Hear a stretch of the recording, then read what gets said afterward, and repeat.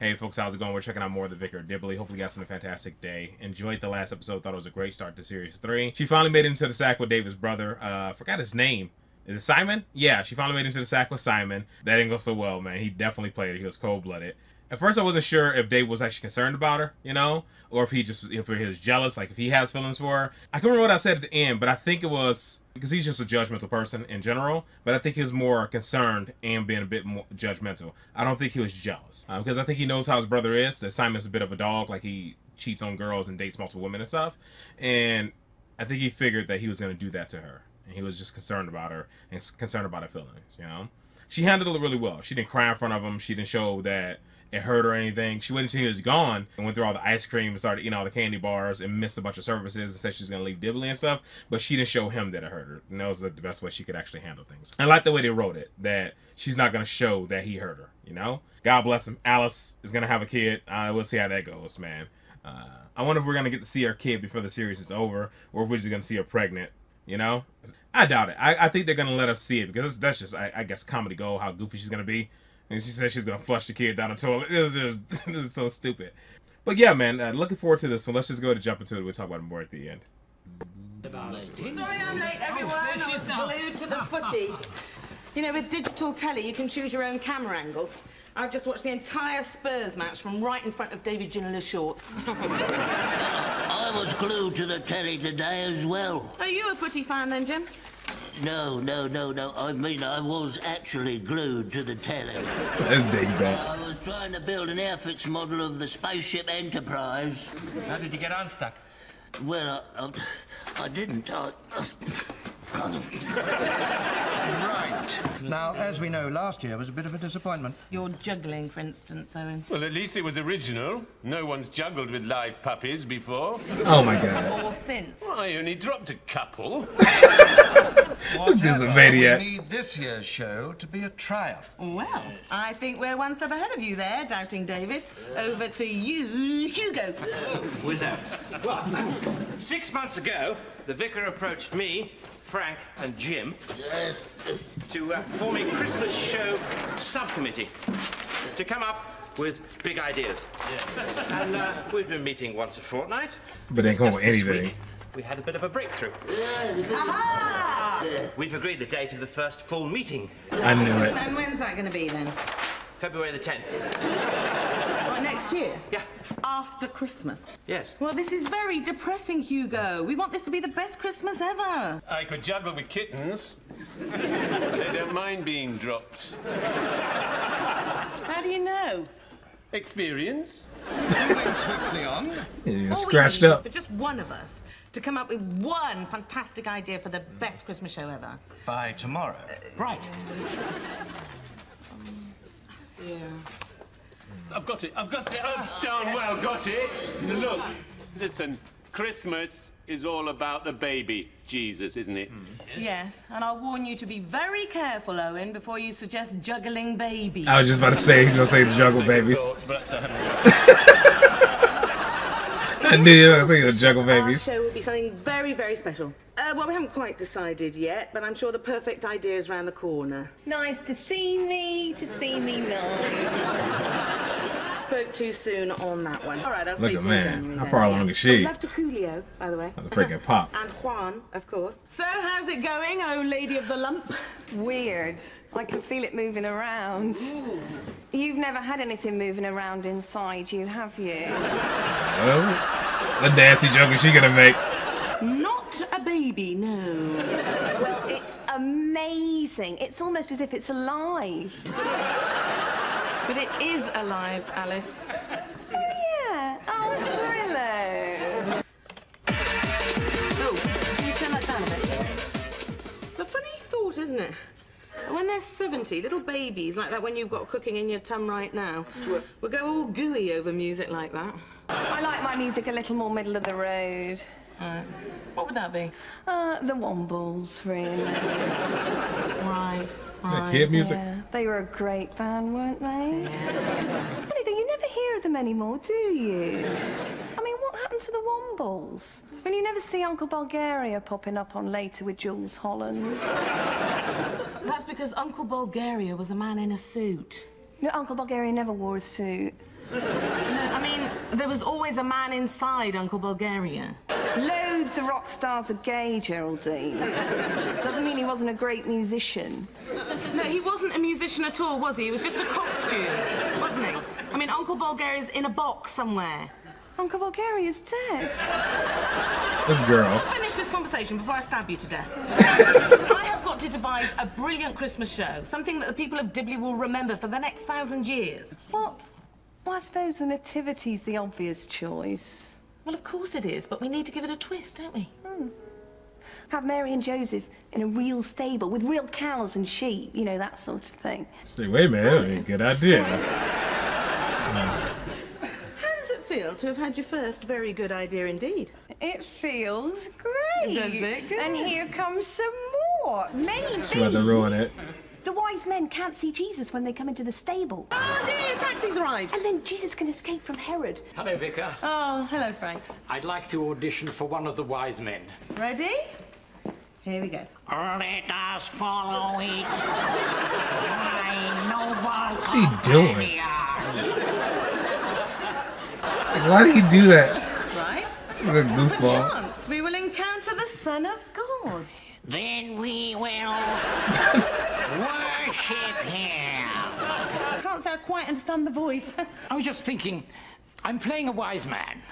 Now, who's wise? Stephen Hawking. Oh no. I was like, who is he supposed to be doing? That don't sound like him at all. that was terrible. Take this myrrh. well, I can see you've really thought about this, Frank. More's the pity. Can I call you about it? It's very good, though. Thank you. Terrible. Who's next? It's Owen. Excellent. Can you send him in? Yes. Come on, man. Right. These are lunatics. Owen. You've come to audition for, The king. of course, there were three kings, and you are obviously one of them. That's right. Are you lonesome tonight? Do you miss me tonight? Can I get back to you on it? Just stall Leg that performance jiggle. come back to you. Certainly. All right. Would it help if I slept with you? Bro. Um, no. Who's next? It's Jim. He's come as one of the kings as well. Oh, right. Well, I hope it isn't Martin Luther King. It is, isn't it? Right. he says he'll come back later. So, That guy showed him in blackface. We'd like to play Mary and Joseph. With me as Mary. I actually was banking on you for the I wish they pivotal would've set them out, man. of woman who sleeps through the entire thing in another room at the inn. But I want to play Mary. Oh dear, what a shame. You don't actually fit the vital requirements, I'm afraid. For instance, Joseph was a carpenter, and I'm afraid Hugo just isn't, is he? Just Oh, finished them in evening class. Right, but the crucial thing I fear is that they weren't English, so I'm afraid Mary only spoke Hebrew. How do you lad on I call Harrods? Yep, just like that. Please. Please? Ah, you screwed. You Look, have I'll to. think about it. I want to play. Right, I've thought Oh. about it, and I think it's an excellent, perfect idea. Hooray! Ooh. See you on the set, Reverend Spielberg. Yes. You don't think your father would be willing to act, do you? Absolutely. Uh, he was rather hoping you'd ask him to play God. Of course. Of Actually, no, course. I had another part in mind. Yeah, play God. I'm Alice, I'm playing Mary. I'm Hugo. I'm Joseph. I'm David. I'm Herod. I am Jim. And I, uh, d- no, no, no, no, no, no. Good. Moving on. I'm Owen. I'm third shepherd, first king, and it's my farm we're performing in for a very reasonable rent. Bro. For free. Yes, thank you. I'd like to use some of the rehearsal methods from Brook's early productions. Brooke Shields. No, Peter Brook. He was a director at the Royal Shakespeare Company. I wouldn't mind being directed by Brooke Shields. this way to the bedroom, Jim. Horny dude. Shut up, Jim. Andre Agassi, get out of that bed, you lazy sod. I've got Jim Trott here. Uh, uh, I'm sorry, sorry, I'll, I'll get carried away. it's been a very long life with very little sexual experimentation. In Brook's Classic Productions, there was a lot of improvisation. So let's do a little bit of that, shall we? Hugo, Alice, here we go. Let's clear the floor. Come on, make a big open space. Now, Alice, you're playing Mary. Yes. You're a virgin. And yet you find out you're pregnant. That happened to my cousin Sally. No, it didn't, Owen. She gave birth three times, but she never ever had sex with a man. Except me. And me. And me, if I'm honest. Oh no. And Alice, so I'm and yet pregnant, all right? And that very day, who comes home but Joseph, your fiance, a humble carpenter. Okay? And centre and go. Cup of tea? Yes, please. Busy day? yes, yes, uh, been carpentering all day. Oh, good. Uh, and yourself? Uh, interesting day? Um, I came home and the angel of the Lord was waiting and made me with child, who shall be Lord of all mankind. Oh, right. Thomas? Well, please. No, sorry, sorry, sorry. Can I just butt in there, Hugo? Barely a You'd reaction. react a bit more than that, wouldn't you? It's quite big news you hear. Right. Okay, yes, sorry. Just um, get your drift. A bit of a turn up for the books, Joe. I'm pregnant. And God, the maker of all mankind, is the father. Oh. Actually, have you got any taramasalata? I'm afraid. Uh... You're obviously useless at this. Sit down immediately. I'll be Joseph. Right, here we go. I'll show you how to do it. Hello, Joseph. Any news? Yeah, I'm pregnant. Hang on a minute there, madam. You're telling me you're pregnant? Yes. Well, who's the father, you little scrubber? Come on, who is it? God Almighty. Ah, sure, I've heard that story before. Come on, who is it? I don't know. I went to the loo. And when I got to the loo, the angel of the Lord was sitting on the loo. And he said to me, You don't actually need the loo, you're pregnant. Oh, Mary, forgive me. Get away from me, you bastard!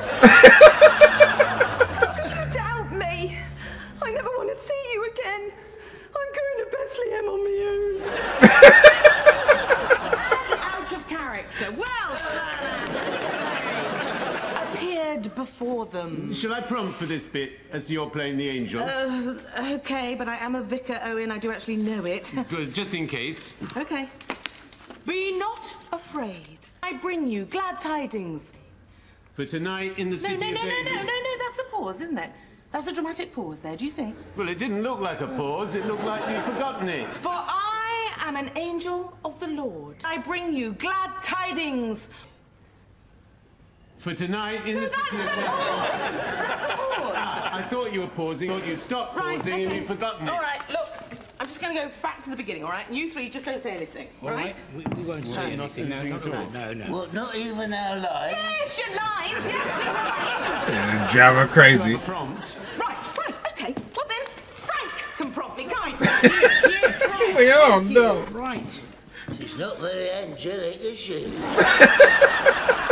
An angel of the Lord appeared before them. Be not afraid. No, be afraid. be very afraid. Right? Uh, dingbats. Sorry to disturb you, Vicar. No, no, no, fine. That's um, absolutely fine. Um, I've heard that mothers to be should avoid unnecessary strain. Hmm. So I was thinking maybe I shouldn't be acting in the play after all, because it is pretty stressful. Alice, I'm sorry, but you've only got one line, haven't you? Yeah, I know, but I'm really worried I'm going to forget them, and the worry might cause me all sorts of damage internally. Yep, see your point. But on the other hand, if you leave me high and dry with this play now, This fist will cause you all sorts of damage externally in the face department. Do you see? Obviously, the choice is yours. I think it'll be okay. Yeah, I think. yeah, I really do. Really do. Ah, ah, ah, ah, ah. No, sorry. Can you just sod off now, please? Thanks. Just someone want watch Sean Bean on the telly. I'd like to be alone with him. Isn't he lovely? Yeah the poster. Oh. What do you think? Oh, I don't know about that. What? Well, I just don't think it is the greatest story ever told. I mean, there's that great story about the people whose house was burgled and they thought the robbers hadn't taken anything, and then they developed their photographs a month later, and they found pictures of the robbers with toothbrushes up their bottoms. Oh. Can I please just remind you all a little bit about the story we're actually telling here? 2,000 years ago, a baby is born in a stable. And yet, during his lifetime, he says things that are so astonishing that millions of people are still living their lives by them today. But most astonishingly, I believe that this tiny little baby boy, and he was younger than I am today, he was brutally crucified for simply telling people to love each other. And the men who killed him thought that's it, that's the end of it. He's dead, he's gone. And yet, here we are, 2,000 years later, doing a play about his birth. Now, I think that's a pretty great story. yes, all right, it's a good poster. Leave it as it is. Thank you. Although I do admit the one about the toothbrushes is pretty gripping. Perhaps we'll do that next year. Thanks. Frank plays the toothbrush. Yes, please. Frank's like, I'm down for that, bro. Let's do it. Oh. Oh, oh. Oh, crap. She was going to liver? If you feel like uh, improvising, Sticking out just go hardcore. for it. Right. Right. Oh, I think it started. Exactly like that. Very good at it. Well done, Alice. All right, everyone, give 'em hell. As you know, we haven't charged anybody anything to come in. So at the end, there'll be two little angels here waiting at the gate, and all donations will be welcome. Thank you. I- uh, I'll be slaughtering Daisy here tomorrow. To, to do order your Christmas beef after the show. Very much. I need to bring down the mood. But also, I am great with child. Oh, I forgot it. In that case, I have a stable you can use. In that case, the vicar has a stable. Like, you So, dingbats. Mary and Joseph went into the stable the innkeeper so kindly offered. I can feel it coming. Oh, that's good. No, I really can. She's good, wasn't she? Very convincing, yes. I was quite good, wasn't I? No. No. Not at all, bro. In Jerusalem, Herod was a cruel and jealous king. Soldiers, go forth unto Bethlehem and kill all the infants in that region. And so, But kill them gently. Oh, my God. This Not as cruel and jealous as some would have me You be. goof ass. I really love children. Indeed, I see some in my court for you. I love you, Harriet. and meanwhile, This is such a big dig, the man. Fields, some shepherds were I love you, tending their flock. An angel of the Lord appeared before them, and they were sore afraid. I bring you tidings of great joy. For tonight in the city I of know, you pillar!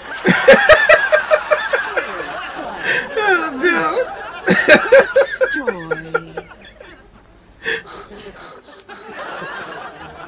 Hey, somebody will call an ambulance. Shepherds, but who were in fact completely different people, approached the stable, riding camels. Hmm. Vicar. Would you excuse me just one second? Thank you. God, we must have some towels. Owen, run up to the house and get some towels. I haven't got any. Well, no towels. But why would I have towels? To dry yourself after a bath. I don't have a bath.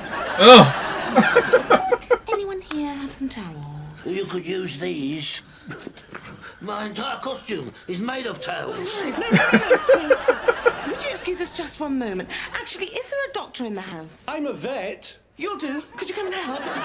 My dead body? Come on, it's common sense, sure. Oh dear, oh dear. Oh, well, it hurts. Does it? Well, next time you get a contraction, you just hang on to my hand really tight, okay? Grip it. Okay. Tight as you like. It's coming. Okay. Okay. Ooh. Hey, ow, you bitch.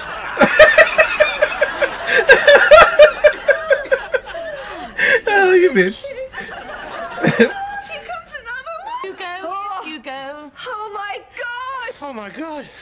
There we are. Just, just one more push now. Oh my God, I can see the head. Ah, God, I hope that is a head.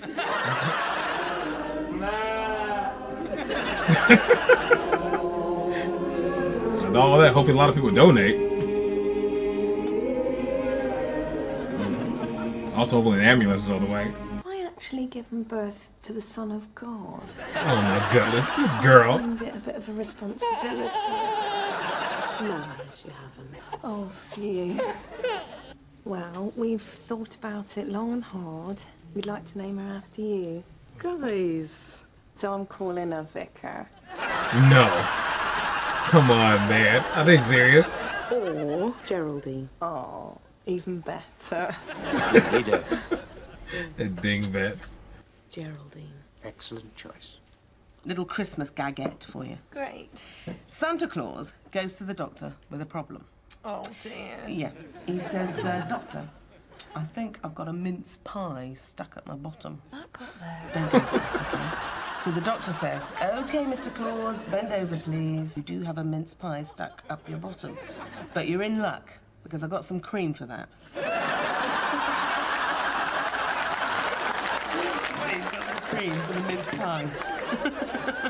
You mean going to take it out and eat it? No. That is not hygienic. No, he's not going to, is he? Because it's a joke. I mean, doctors these days, what are they going to be doing next? Taking out your appendix and having it with, I don't know, bacon and egg? Look, you're just leaving planet Earth now. Like it's been up Santa's arse.